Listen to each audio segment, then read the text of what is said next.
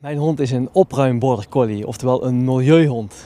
We hebben een hond die blikjes, zijn eigen poepzakjes in de vuilnisbak deponeert op commando. Buddy, dat blikje opruimen. Ja, goed gedaan. Er waren hier, lagen hier heel veel blikjes en allerlei, allerlei andere troep die op de grond lag. En ik dacht van, ik kan echt niet. En eh, het is bovendien handig als je hond zijn eigen poep, poep opruimt. Goed gedaan, vriend. Ik vind eigenlijk dat iedereen met een, eh, met een hond in ieder geval zijn eigen poep moet opruimen. En als je daar te lam voor bent, of je bent, als je daar te moe voor bent, dan leer je het gewoon je hond aan. Nou, en dat is toch makkelijk? Is iedereen blij. Hondje wat te doen, buurt lekker schoon. Nou, iedereen tevreden toch? Goed zo, dat is braaf.